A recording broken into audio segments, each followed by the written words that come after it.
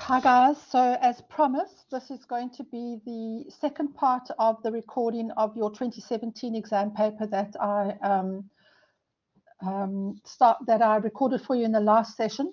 We went from question one to question three in the last recording that was just over an hour. So I'm going to um, go from question four to question seven, I think it is, the rest of the paper um, for this recording. Okay, so I'm just going to go over to share my screen and then I can um, go to the PDF of the paper to, oopsie, to do it with you. So guys, also just remember, please ask me any questions, anything that you don't understand about um, any of the questions. Why did they get particular, how did they get a particular amount? Why did they do a particular um, calculation in the way that they did? Uh, anything whatsoever, please send me a message. There's um, don't sit at home and, and worry about even the smallest thing that you're not sure of how it works, because that might just be the one thing that comes up in um, in the exam, and then you'll wish that you that you asked me to help you. Okay, so don't be shy to um, to ask me.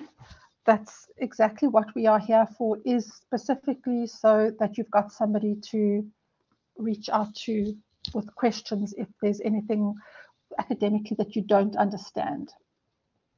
Okay, all right, so here we go with question four. Let me just grab my textbook.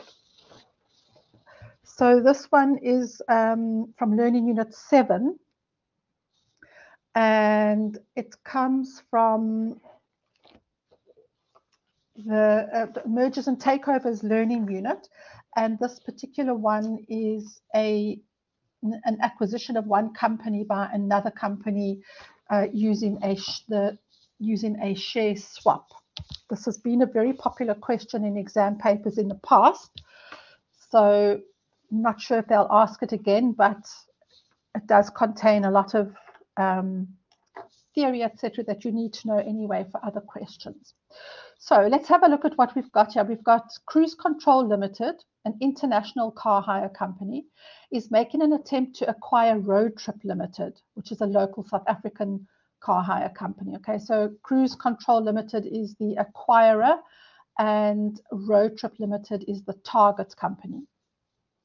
In order to gain access to the established client base that Road Trip Limited has built within South Africa. Cruise Control Limited is considering acquiring Road Trip Limited through a share swap using an exchange ratio of 1.5. Okay, so what does an exchange ratio mean? And how did they cal- how was that 1.5 calculated? Sometimes in a question, they will ask you to calculate the exchange ratio um, and not give it to you. So make sure you know how to do that. You'll find this on page 225, page 225 in your textbook. So when we talk about the exchange ratio, we are um, talking about the number of shares of the acquiring company that are going to be swapped for each one share of the target company. So what we're saying here is that cruise control will have to give or issue one and a half shares in their company to the shareholders of Road Trip Limited for each one share in Road Trip Limit, Limited that they want to acquire. Okay, so they'll basically be paying one and a half shares for one share. Remember, it's a share swap. So you will give me one share and I will give you one and a half shares in exchange. That's the exchange ratio. The management of Cruise Control Limited anticipate that the PE ratio at the at which the company will sell, in other words, the current PE ratio, will remain unchanged after the merger. So that's important because we're going to use the PE ratio um, for calculations later. So remember this information. They've told you right up the top that your PE ratio is going to be the same. Whatever the PE ratio calculates to be now, it will still be that same PE ratio after the merger. So remember price earnings ratio means um, the market price. The P stands for the market price of the share um, over the EPS of the share. So it's saying, um, and, and often we say the PE ratio is X number of times. So we're saying uh, if the PE ratio is five, what we are saying is I am going to, I am paying five times the current earnings of this company for one share of the company.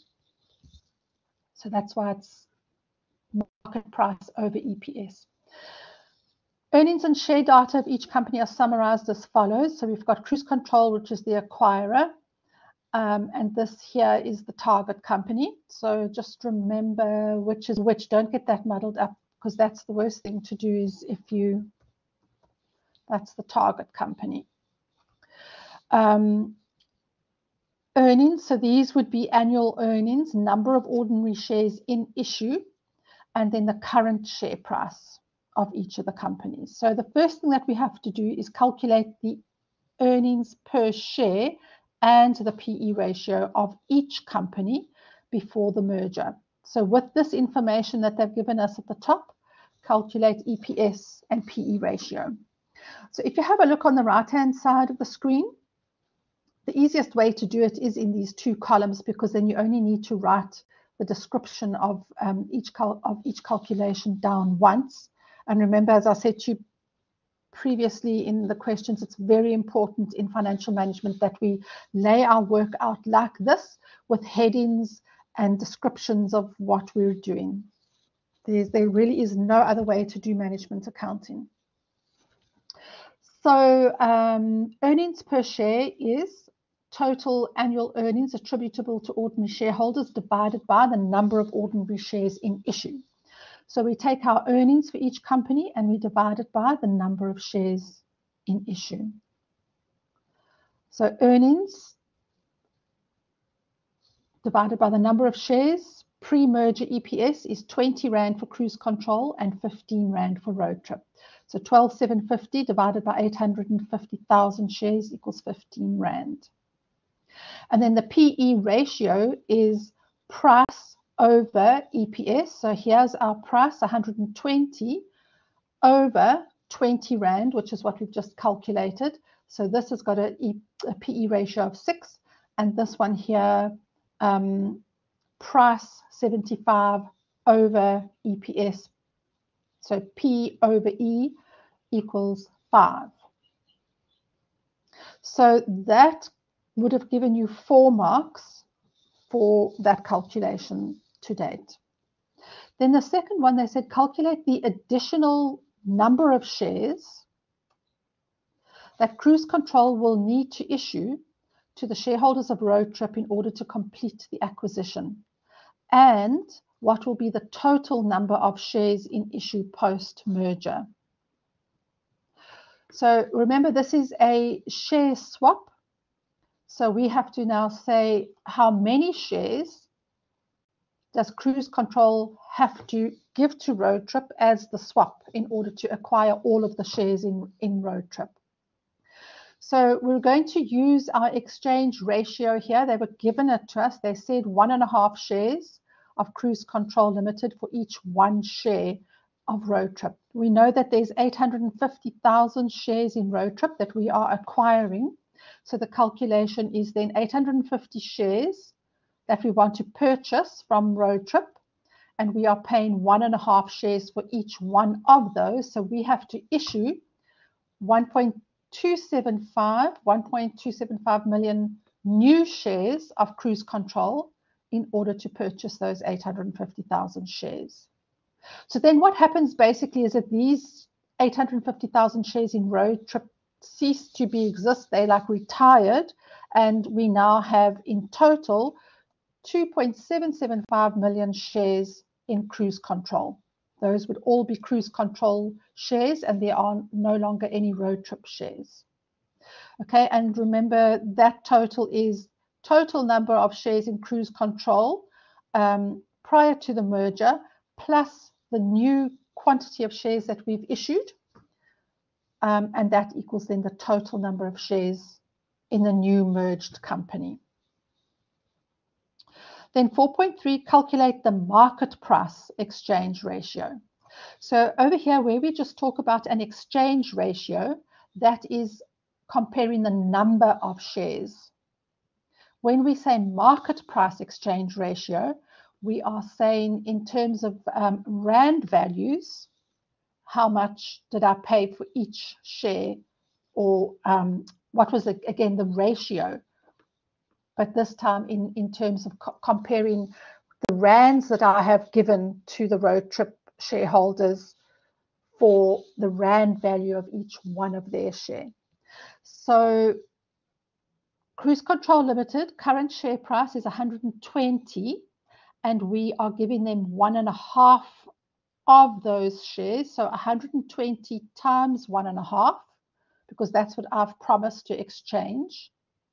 So that Rand value over, because remember it's a ratio, over 75 Rand, which is the price of one share of road trip. And that equals 2.4. So the exchange ratio is 1.5 and the market price exchange ratio is 2.4.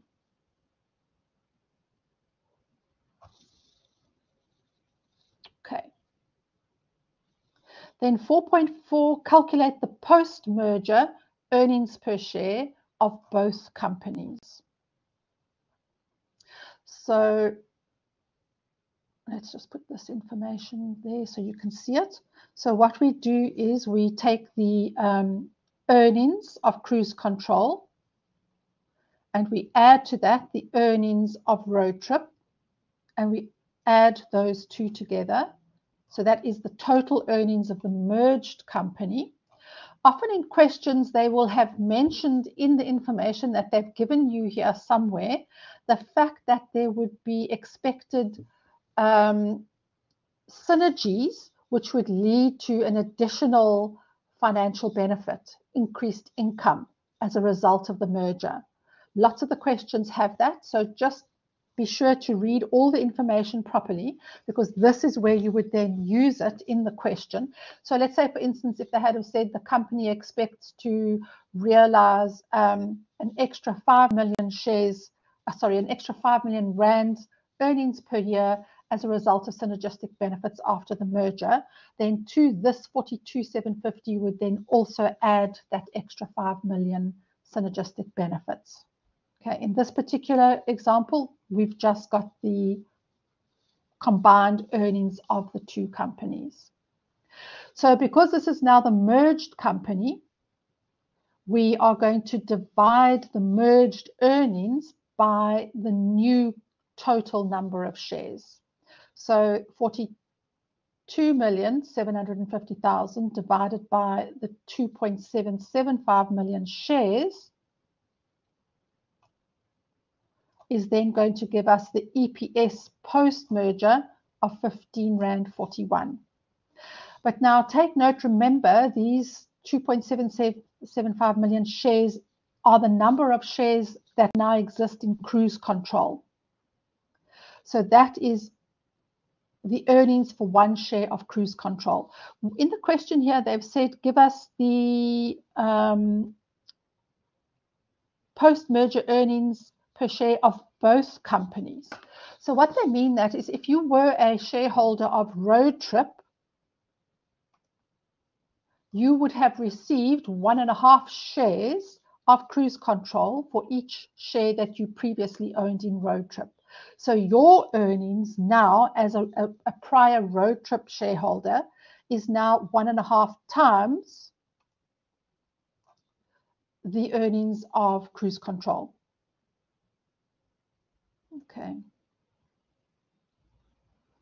That's obviously a theoretical earnings per share. That share doesn't exist anymore, but it's just saying to now measure as a road trip shareholder, you want to measure was it beneficial to me to have swapped my one share for one and a half shares of cruise control. Um, so if you have a look at the top over here where we calculated the EPS, pre-merger EPS, um, road trip, you would have had 15 Rand EPS for your one road trip share before the merger. And now that the earnings that you are now, the value of the earnings you are now receiving for each one share of road trip that you previously held is 23 Rand 12 cents. So it is beneficial. And then have a look at something else. The pre-merger EPS of cruise control was 20 Rand and it is now 15 Rand 41. So if you were a cruise control shareholder, previously your earnings per share would have been 20 Rand and that has now decreased to 15 Rand 41 per you still own one share of cruise control. So we're going to come back to that in one of the next questions.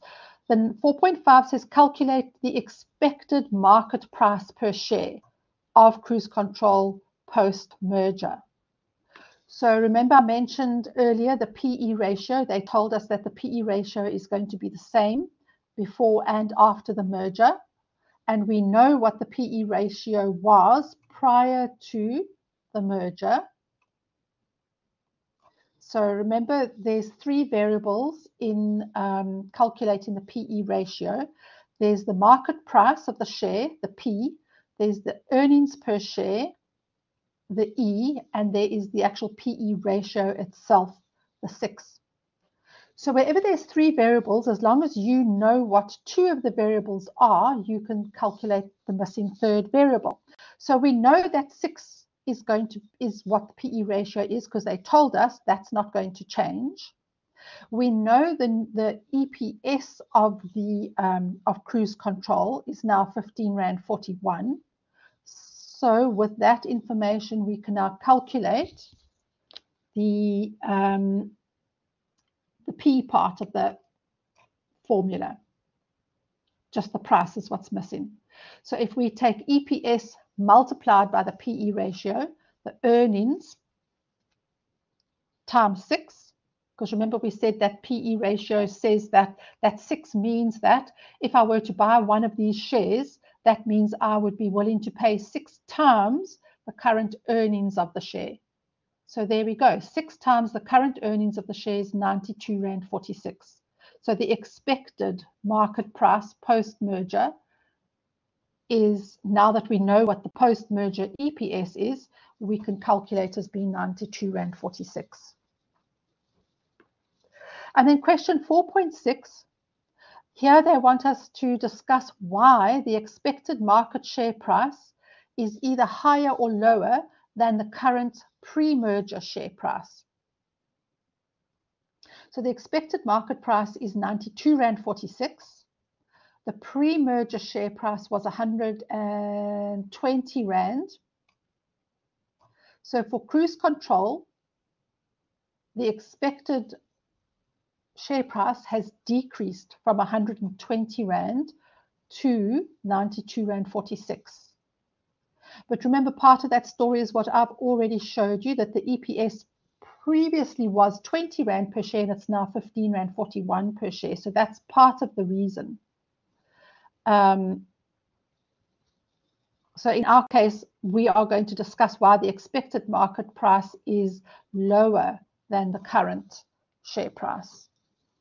Uh, you'll find this in your textbooks. This discussion is exactly in the textbook. So the share price of the merged company has fallen owing to the dilutive effect of the additional shares. Because remember, we've the, the amount of earnings we've got has to be divided by the new greater number of shares. And because we paid one and a half, we had to issue an additional one and a half shares for each one share of um, the target company, the number of share, the number of shares in cruise control grew to a larger number at a, at a greater proportion than the earnings than the earnings did. Dilutive effect of the additional shares issued for the acquisition of Roadtrip and the fact that the PE multiple did not change as a result of the merger. Okay, so as long as you discuss it, you explain it in your own words, something like what I've said. Remember with these things, always, as long as you understand what happened, you could see the numbers. You've got the numbers before and after the merger. You can compare to see what went up, what went down, what changed, what didn't change. You can use that to explain. But it's important that you understand so that you can then explain in your own words. Then you don't have to memorize all of this um, theory. And then the last one is list and explain any five ways that economies of scale can be achieved thus le leading to synergistic benefits in the form of cost savings for the newly merged car hire company. So in your textbooks, so your share swaps, whole section on um, share swaps um, is from page 225.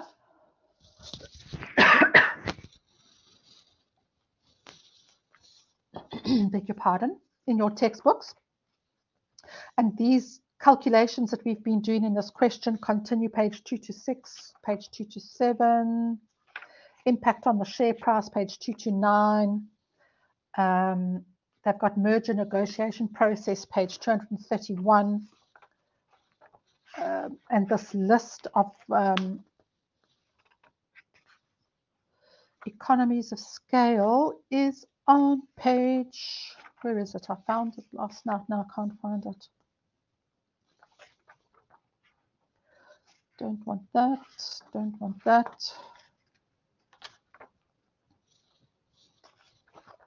It's quite an interesting chapter, especially if you read this section at the end of the chapter about um, hostile takeovers, and, and there's there's several different defense actions against hostile takeovers, and then also reasons why mergers um, fail, that's also a very good theory question at the end of um, the chapter as well. And it is interesting. So, uh, and you will also, if you follow business news, you will definitely come across those.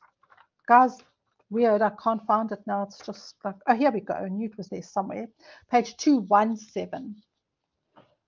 Um, synergy through operating economies of scale and you've got one, two, three, four, five, six bullet points on that page, which you could then have, um, you needed to list five of them to get those 10 marks.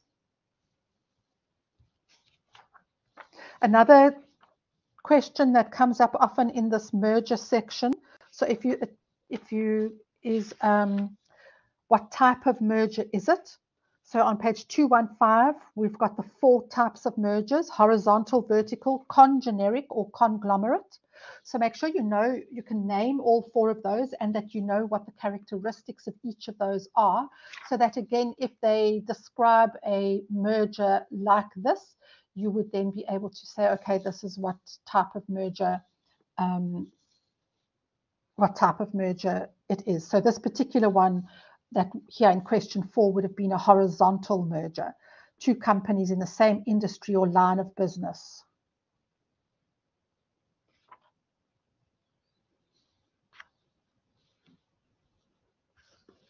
Okay. So I think that is, is that all of, um, yeah, and then that's all of question four, which basically really covers most of that mergers and takeover learning unit seven.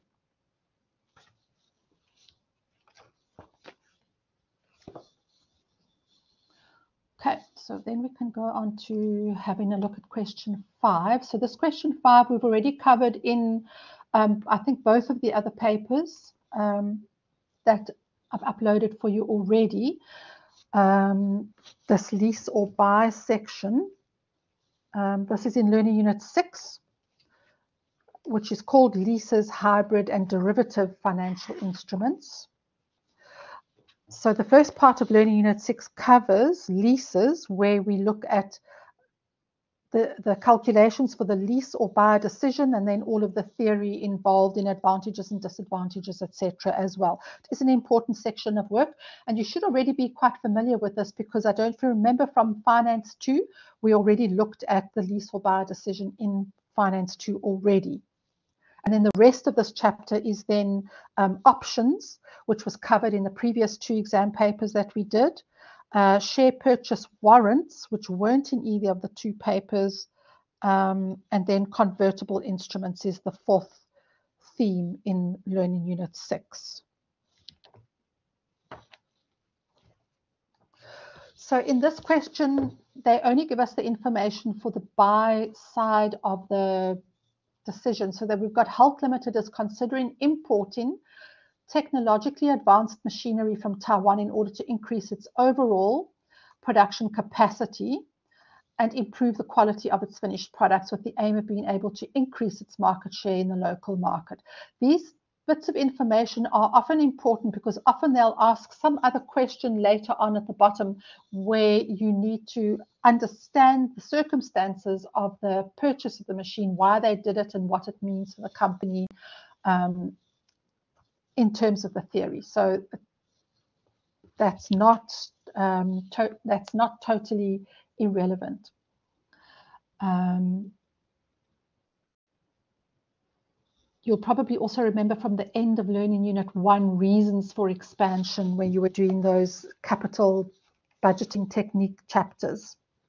A lot of that is incorporated in this question as well. So for the buy option, the machinery costs one and a half million and it's got a four-year lifespan. They're entitled to an income tax capital allowance, 40% in the first year and 20% per annum in the remaining three. The total purchase price will be financed by a four-year loan at an interest rate of 15% per annum. And our annual payments, our PMT, is going to be 525398.03 and will be made in arrears. That just means at the end of each year. Hulk Limited will also pay 20,000 Rand for insurance in the first year.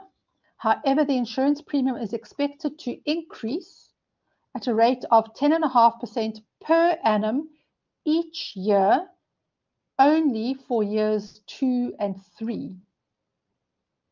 Okay. So 20,000 in year one, then plus 10.5% in year two, and then again plus 10.5% in year three. And then it will increase by 12% in year four. Due to technological advancements, the running costs of the machinery, including um, electricity and water, is expected to decrease by 10% per annum only from year two to the end of year four. And currently, the running costs for year one is expected to be 75,000. You've got to really read carefully what's the percentage and precisely which year does it apply to, from which year up to which year. Um, this is where students often make mistakes. They read 10 and a half and they just apply it from year one and, and so on and so forth. You've got to read the information really carefully. So you'll see, I've always told my students, take a highlighter with you to the exams because you can see now if you read back here, your pertinent information that you're going to need for the calculations is immediately you've highlighted that and you could quickly find it without having to reread everything again. And in this way also, you're not going to miss important information. They intend utilizing the machinery beyond the end of the four-year period uh, to maintain operations, which means they're not going to sell it. There's no sale of the machine at the end of the fourth year. A tax rate of 28% applies, and that the deductible cash flow relating to the lease or buy decision arises in the year that it accrues. So the tax is not paid in arrears, it's paid in the year that it accrues, and that the company has got sufficient taxable income, blah, blah, blah. Okay. Required 5.1, calculate the annual interest cost of the buy alternative for all four years. So they were quite clever with this question for eight marks. They didn't say um, calculate the amortization table for the purchase of the machine. They said calculate the annual interest cost of the buy alternative, which they then expected you to realize, to know that the way to calculate what the interest is for each of the four years is through working out the amortization schedule. There's our four years worth of interest. So you absolutely, you've done amortization schedules in year in second year as well. Um, you must, and in um, second year accounting and in, no, sorry, third year accounting and in second year finance. So must make sure you absolutely know how to do that because then that's an easy eight marks. So we always start our amortization schedule out with the outstanding cost of whatever it is that we are paying for. So the machinery costs one and a half million. They didn't say anything about a deposit. So our full amount that we're starting out owing is the one and a half million. If they had have said we paid a 200,000 Rand deposit, you would have used the one and a half in the opening balance column. And then under the installment column, you would have then have deducted whatever the value of the deposit was, so that the closing balance here would then be the purchase price excluding any deposit made up front. And then for each one of these four years, you do exactly the same calculation. your closing balance is obviously then your opening balance for each year. So we take our opening balance multiplied by the interest rate, one and a half million times 15%, and that is what you write down here in the interest column. Opening balance times the interest rate equals the interest. And then the installment has been given to you. So you have got that you write that down in all four years. That's not going to change. And now you just have to work out what the closing balance is. And in order to do that, opening balance minus the amount that we paid, the installment, plus the interest charges for the year will then equal the closing balance. Okay, and then your closing balance becomes the next year's opening balance. Second year, I'll say it again, opening balance multiplied by the interest rate equals the amount of interest for that year. Opening balance minus the installment plus the new interest equals the new closing balance. And then you bring that forward. And you keep doing that for the number of years. They told you four years. So you do that for four years. And if your calculations have been correct, you will end up with a zero as your closing balance at the end of the last year of the payment schedule. Um, so remember, they've given you the installment. So this installment has been pre-worked out as the PMT with the, um, the opening balance being the present value, the interest rate being I, and the installment being PMT they've worked that out so that the future value will be zero. Okay. They've given a financial calculator version here. If, um, as I said here, present value, N is 4, I is 15, the PMT is 525, and then you work using the um, AMRT button on your calculator, which stands for amortization um, you can then calculate the interest for each of those years um, in uh, using the financial calculator. Just have a look in your your calculator would have come with a little instruction booklet. Go and find amortization in there and practice with your calculator so that you can you know that you're pressing all the right buttons. Or Google it, you'll find that somewhere on YouTube, I'm sure, or somewhere exactly what to how to do that um, or just use this amortization table. I'm old school. I like to see exactly what I'm doing. I trust myself and I don't always trust that I've pressed, I haven't mispressed or cleared a memory. So I like to write this out and see exactly what I'm doing. And I can also check myself again if I've done it.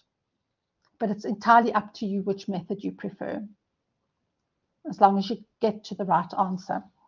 And then for 5.2, they said calculate the tax shield for the buy alternative for all four years. So remember when we talk about the tax shield, we are going to write up a schedule for each year which details all of the expenses which are tax deductible. Okay, so this has got nothing to do with whether it was a cash flow or not, it, whether it is a tax deductible expense? Is the expense allowed to be deducted when I do my tax calculation. So the items that we can deduct are interest, my interest expense, which you're going to get from your amortization table here. Here's our four amounts of interest from year one to year four. So that's the interest written across there. My running costs, I think they said this was electricity and water. Am not, am I right? Running costs, including electricity and water. Okay, they said for year one is expected to be 75,000. So there's our 75,000 and is expected to decrease by 10% per annum from year two onwards. So they haven't showed the workings on this memo. You have got to show your workings. Usually on the memos, they do show workings. This is an older one. I don't know why it doesn't have the workings on it. But this would be, you would have your workings here, 75,000 minus 10% equals 67.5. 67.5 minus 10% equals 67.50 and 67.50 minus 10% equals 54.675. Then our insurance, 20,000 Rand in the first year. So there is our 20,000 Rand in the first year. However, it is expected to increase at a rate of 10.5 per annum for years two and three so your calculation here is 20 plus 10.5% equals 22,100. Your calculation here is 22,100 plus 10.5% equals 24, 4, 20, 50.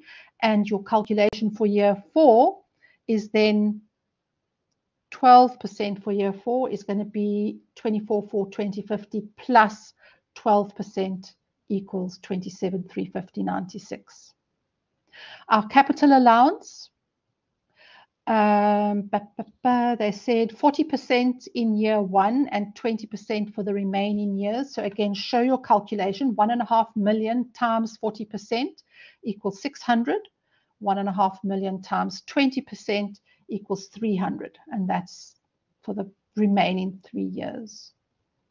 So those four items were our four tax deductible expenses. Um, so you add them up total for each year. And then we calculate tax at 28% of the total. So we then got the tax shield. Remember, they said calculate the tax shield. The tax shield means um, because I've got these expenses that I can deduct from my taxable income before I calculate my tax payable to SARS, I have actually saved 257,600 rands worth of tax in year one. It's actual physical cash that I won't have to pay to SARS because I purchased this machine, thereby incurring these tax deductible expenses. So even though I've got expenses, I've actually also got a saving to offset some of these expenses. That's what tax shield means. And don't forget to do that for all four, um, all four years. And then our 5.3 is calculate the after-tax cash flow for all four years. Okay, so remember tax shield, we want the tax deductible expenses list. And uh, after tax cash flow, we only want those amounts that actually went in or out of our bank account. So any non-cash amounts like capital allowances, etc., would not appear in this list because they are non-cash amounts. And also remember for the buyer alternative, our cash flow is the entire installment. So our, our cash flows then are the installment that we pay to the bank our running costs, water and electricity, we are physically paying that out in cash. Our insurance is physically being paid out in cash. And then take note, those are all in brackets. Those are cash flows out. And then the tax shield that we calculated there is then a cash flow in. So minus, minus, minus, plus, and that then gives you the total after tax cash flow.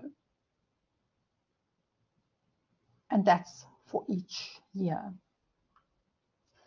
In this particular question as well, they haven't given us any um, increased sales or contribution or anything that the machine provided. This is really just looking at the actual expenses, the tax shield, and in terms of the cash flow, again, we've only got the actual um, expenses and, and, tax shield as our cash flows. There were no how many units did we sell, etc. All depends on how they're going to um, word the question or give you the question. Okay, but hopefully by now you've done lease or buy a couple of times. So hopefully by now that question, you guys are um, are good with that particular question. Um, did I give you the page number in the textbook for that? It's page 181, page 181, example 6.1, lease or buy. And then on page 180 is where the discussion about lease or buy starts. And then you've got example 6.1 on page 181 with um, going over the page, example 6.2, etc., all the way through to the end of example 6.4. Oh, and I must also just mention um, the other thing that they didn't ask in this question, which they could have, is then for you to calculate the net present value of the cash flows and perhaps compare it to something else, um, which in your textbook you'll see. Why did I turn that page over? Um, on page 184, they then calculate the net present value. In that particular example, they've got a lease and a buy alternative. So go through lease or buy from page one from page 180 from example 6.1 through to the end of example 6.4 and that takes you through the whole procedure of this particular question that we've gone through including the bits that they didn't ask us in this paper. Obviously, if they wanted us to calculate a net present value, they would have had to give us a cost of capital percentage as well in the question so that we had a percentage to use to calculate our discount factors for each year. Just give me one sec.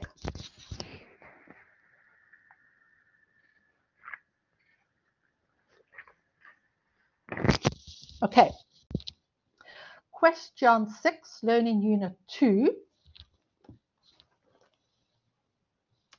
This is um, on capital structure.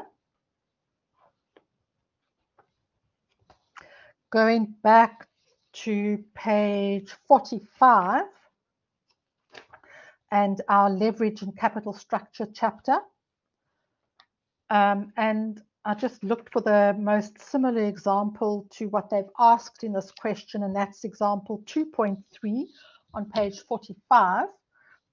But obviously, all the information in the textbook before and after that example will all be relevant to Learning Unit 2 questions. So here they've said Universal Limited currently has 250,000 authorized shares. Please be wide awake and read carefully all the words they've given you. Only 30% of the authorized shares have been issued. Okay, so make sure that you understand the difference between authorized shares and shares in issue. You would have done that in second year accounting um, you should be familiar with that from um, second year accounting, from your EPS chapter. The debt ratio is 40%. What does that mean? The debt ratio is 40%. What are they telling you there?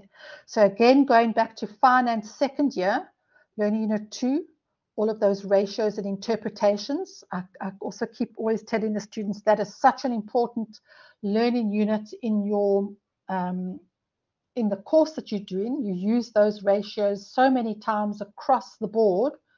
And if you don't know what the debt ratio is, if you can't remember it from Learning Unit 2 in Finance 2, then you're going to be stuck with this question.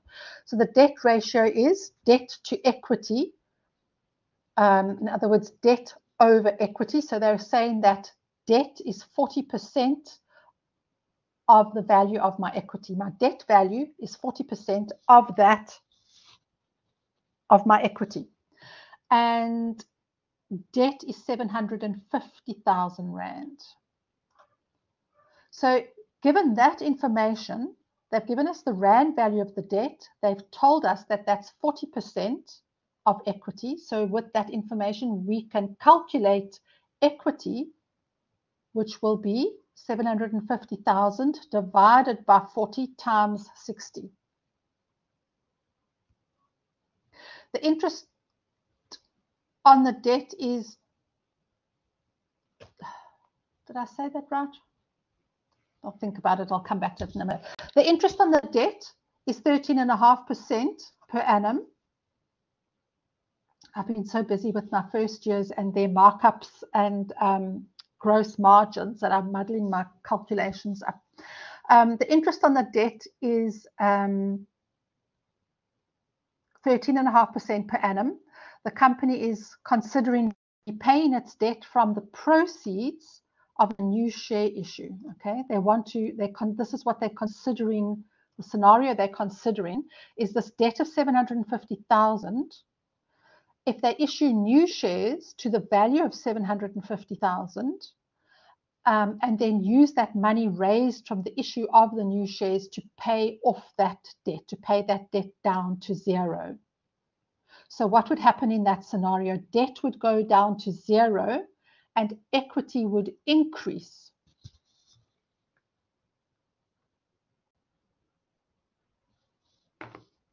by the value of the new shares that they issued.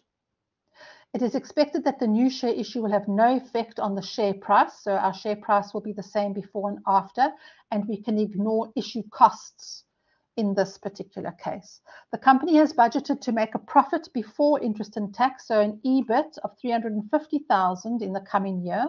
However, if the company enters a recession, EBIT will decline by one quarter of the budgeted 350,000. But if the economy expands, EBIT would be triple of what was budgeted, three times what was budgeted, and our tax rate is 28%. Calculate the earnings per share for the current capital structure under the budgeted and the recession conditions. So that was why I indicated you towards example 2.3 because that shows you how we starting with EBIT, listing what we've got, we can then calculate our earnings per share. So um, you want to do your answer in a table like this. I know a lot of you used AI for your assignment and it was in this long verbal written thing that was impossible to follow. Please, guys, do it like this as it's in your textbook in example 2.3 with these columns where it's very clear to follow what you've what you've done and what each line is. So we do it exactly the same as we would draw up um, a, a um, statement of um, profit and loss. Okay. So we've got the budgeted scenario and we've got recession. So they've told us 350,000. That's what they gave us, EBIT of 350. And here they've said um, for the current capital under the budgeted and the recession conditions is what they want for 6.1. So we go and have a look here. They said if the economy enters a recession, EBIT will be one quarter less than it was. So you can say, please show your work in seven, 350,000 times 0.75 or 350,000 minus 25% equals the recession EBIT.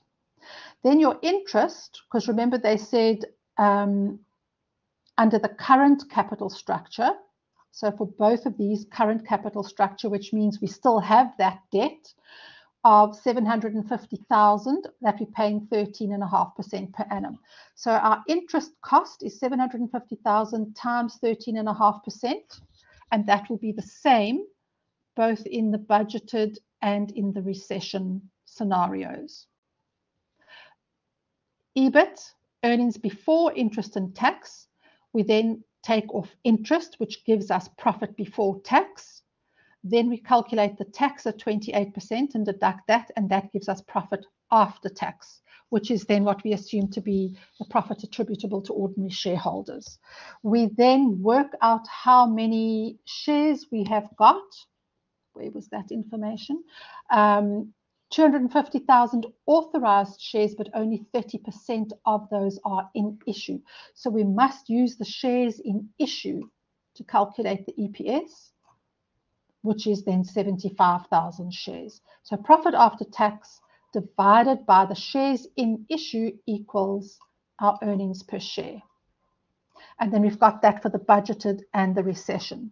So the only thing that really changed here in the recession column was that the EBIT reduced. Interest was exactly the same, and then obviously all of the um,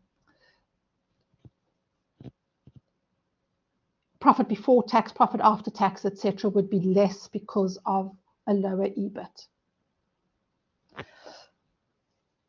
Then 6.2 says calculate your earnings per share. So the same format for the proposed capital structure. So in other words, for raising 750,000 rands worth of capital via the issue of shares and using that to get rid of the debt under the budgeted and expansion conditions.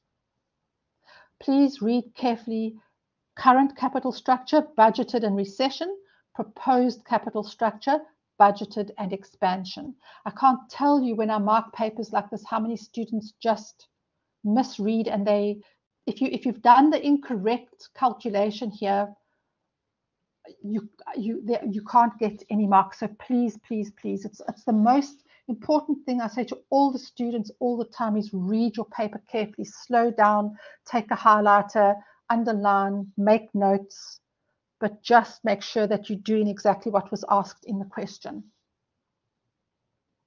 So 6.2 so again our EBIT is going to now be the same. The budgeted is still 350,000, but now we've got to work out the expansion EBIT, which is going to be triple of what was budgeted. So 350,000 times three is then the expansion EBIT.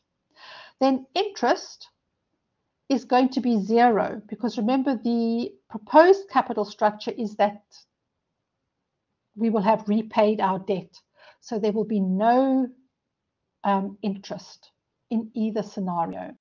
So our profit before tax is then going to be whatever the same as the EBIT. Minus 28% tax gives us profit after tax. And then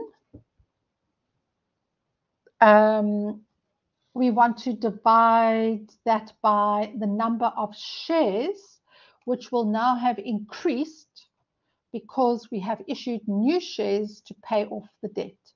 Let me just show you the calculation.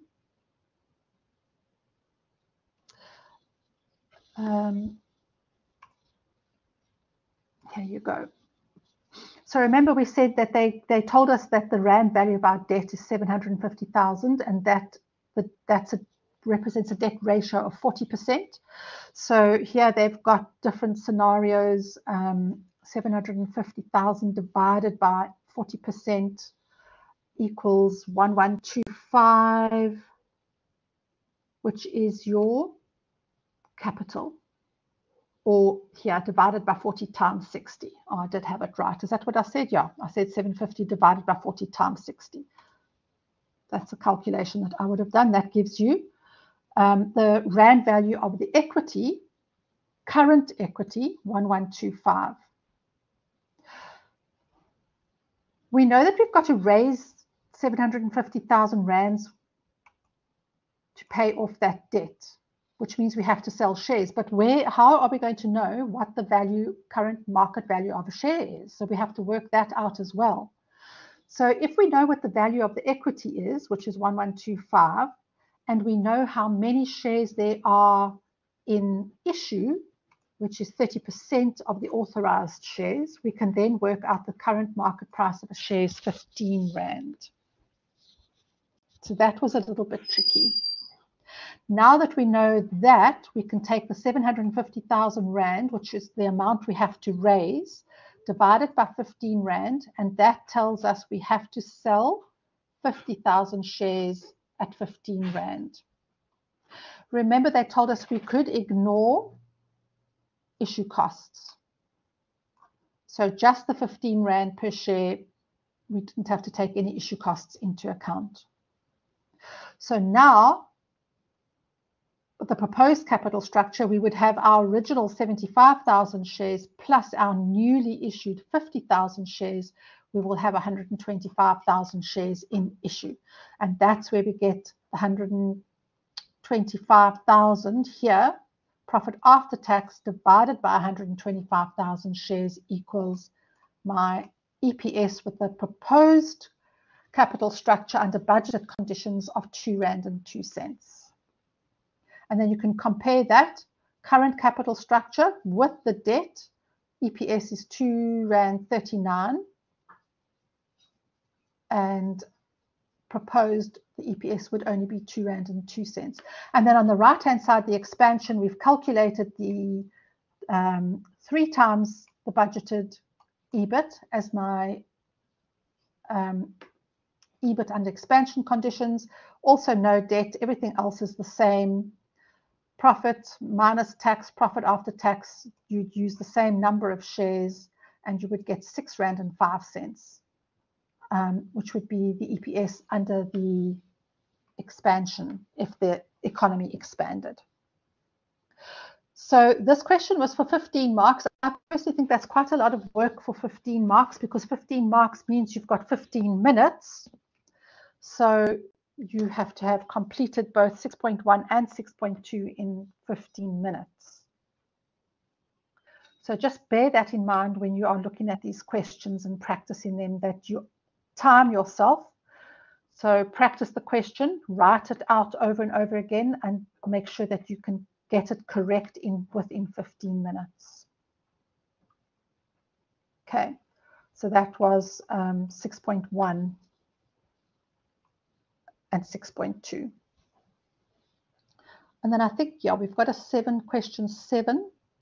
This is also something similar to what you have done before, which is your cost of equity. So this is learning unit one, cost of capital. Just give me one sec.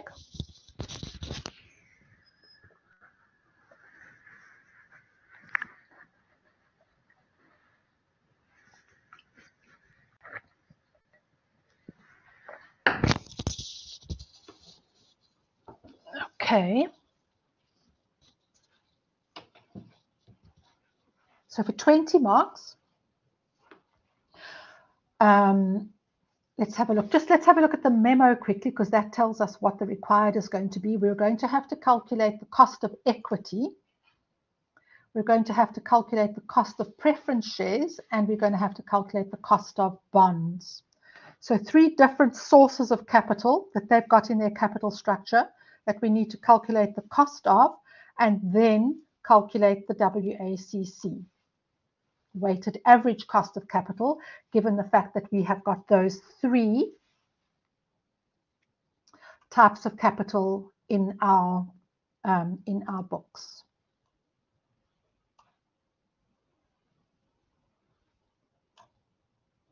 Okay, so let's have a look over here.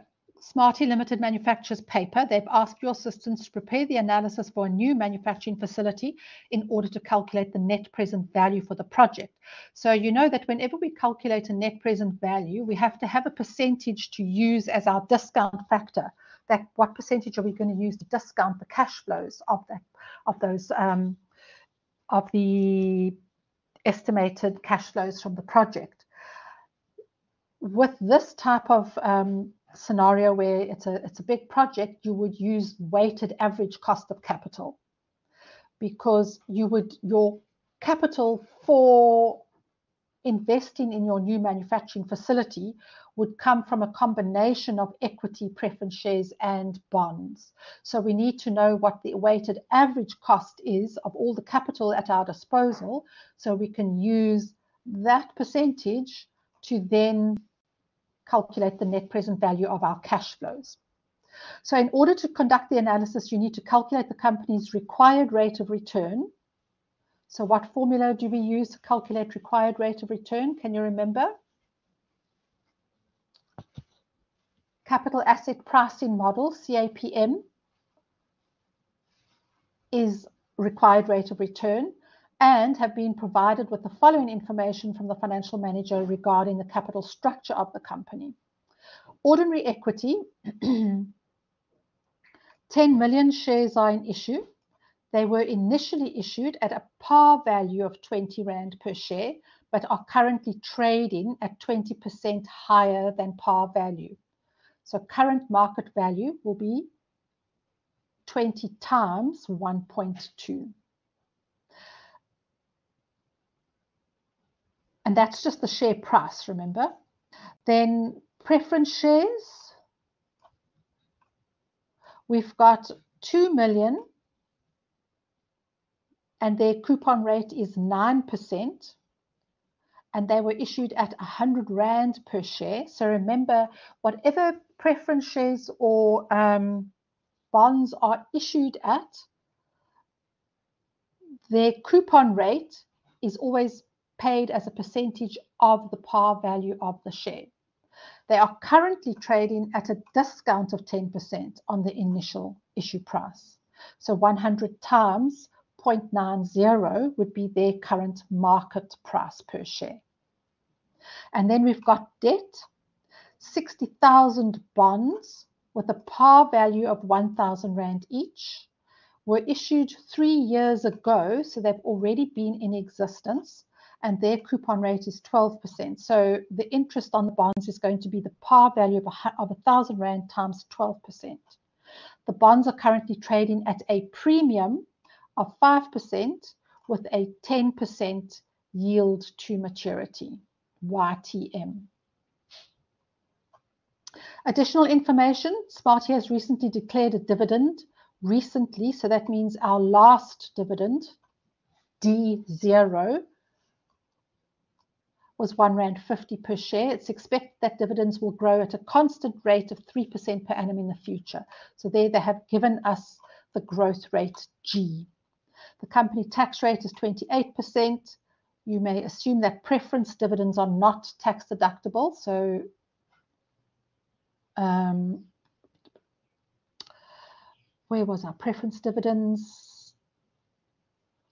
That 9% is already after tax. In other words, we don't have to calculate an after tax cost of the preference shares because they are not tax deductible. We pay the preference shares out after tax money. So we take uh, profit before tax, subtract tax, calculate the um, profit after tax, and then we deduct, we pay the preference shares out of that money. And then after we've paid preference shares, out of our profit, what's left over is then the profit attributable to ordinary shareholders.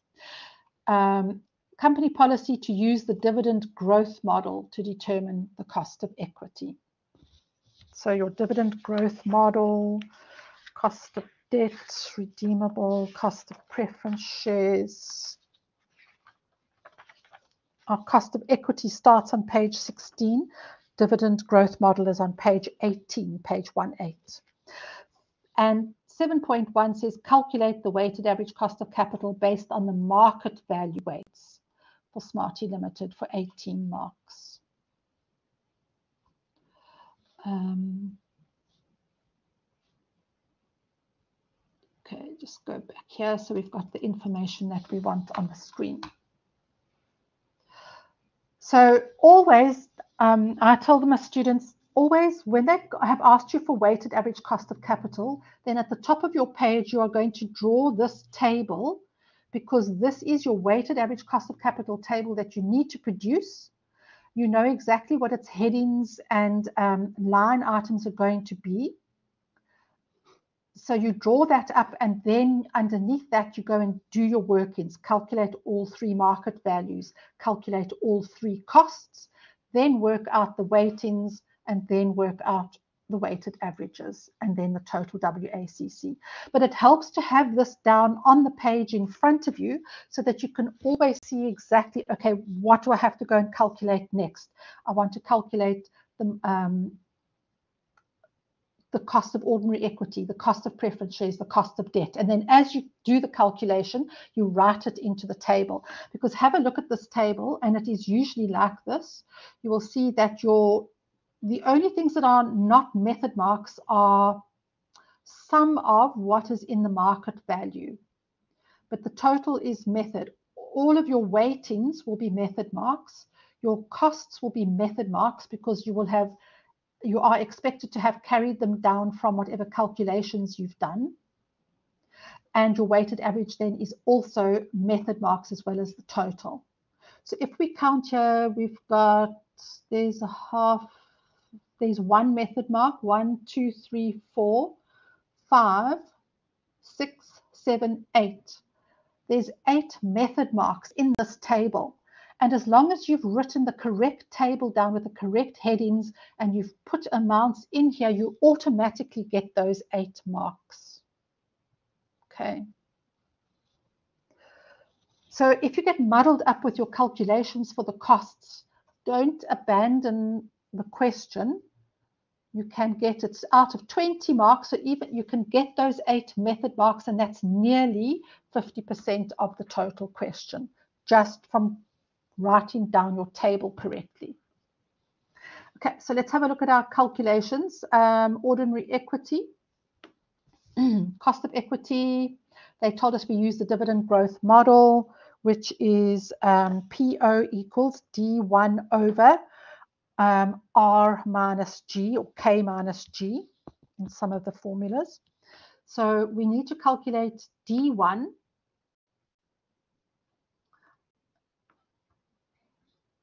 where was that information about the dividend? Here. They've recently declared a dividend of one rand 50 per share, and that's expected to grow at a rate of 3%. So one rand 50 times 1.03, that will then calculate D1, which is the next dividend that we're going to pay out. Um, over RE minus G, um, I can't see what my workings are here. Oh, here we've calculated here at under cost of equity, they've calculated the market price of the shares, which is 20% um, higher than par value. So 20 Rand times 1.2. The current market price is 24. We're going to use that here. We've got 10 million shares at a market price of 24. So that's that taken care of. Um,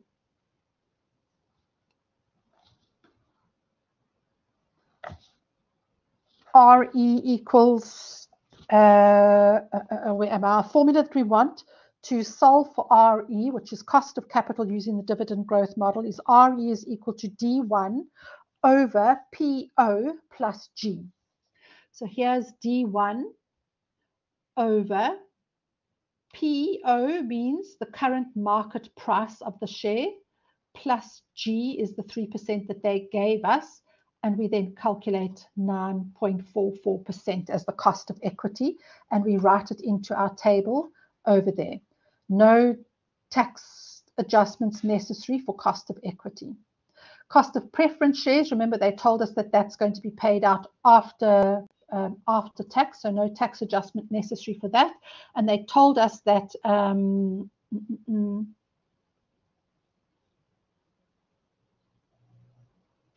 why is that none? Um, cost of preference shares. Sorry, did I give you the page number? Yeah, I gave you page 18 is the page number for the dividend growth model. Um, your cost of preference shares is on page 12, RP is equal to DP over NP, where DP is the annual preference dividend over NP, which is then your current share price, current yeah, share price, preference share price. So DP is what is my dividend? Par value of 100 Rand for the for the preference share times 9% I'm calling it the coupon rate for the preference share, just so that you know what that means. So that's the preference share interest that we are paying over NP, which means the current price I would get for a preference share. And they told us that that is currently at a 10% discount. So the 100 Rand par value times 0.9. And that equals a cost of 10%. So we write out 10% in over there. Um, and we've got 2 million shares. So market value, 2 million shares times um, again, 90 Rand per share. So they've just done the calculations here. 100 par value times 90%. Market value is then 180 million.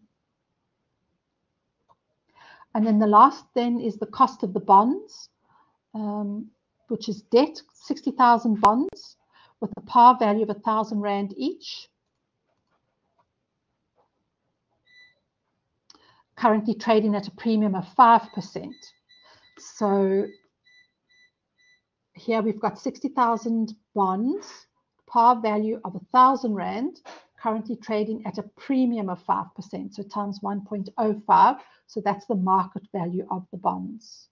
And then for the cost of the bonds, they told us that it has currently got a 10% yield to maturity, which means that the owner of the bond is earning 10% on that bond, which means that if the owner is earning 10% on the bond, that that 10% is therefore the cost to the company. But bonds are debt, so we have to take the after-tax cost of debt, so 10% times 0.72. In other words, subtracting the 28% tax is 7.2% cost for the debt. So now we have filled in in the table our three market values and our three costs. We add up the three total market values to get the total market value and then work out the proportions 240 over 483, 180 over 483, and 63 over 483. And that gives us the, the weightings or the proportions of each type of capital of the total. And then we um, can calculate our weighted cost, where we take 0.5 times 9.44, and that gives us a weighted cost for equity of 4.72. 0.37 times 10% and 0.13 times 7.2%. And then we add those three together to get a total WACC of 9.36%. And then the company has got that percentage to then use as their uh, discount percentage when they want to present value the cash flows for the project that they're considering. Then the last one is just a theory question. Um, they want to change its dividend policy one of the directors has proposed they should implement a stable dividend plus bonus dividend policy. So this is your learning unit uh, three, dividend policy. Briefly explain how a stable dividend plus bonus policy works. A couple of typos there. So again, in your learning unit three, you have got your constant payout ratio, stable dividend, stable dividend plus bonus, those three types of dividend policies. So you need to be able to explain how any one of those three works. And in this case, they asked for the stable dividend plus bonus. Um, and again, just in your own words, an explanation of how they would, how that, how that operates. And also take note, it was only for two marks, so just make sure you've got sufficient information for two marks. You can see here they have um, awarded three, there's three points that you could have given, and as long as you've given two of those three points, that you'll get your, your two marks. So don't go and write a whole essay, um, but you must give enough information for all of the marks that they've allocated to that question. Okay, so that is then the end of the full paper. So I'm going to go back here and just end the um, recording and then I will download and post this recording for you guys as well.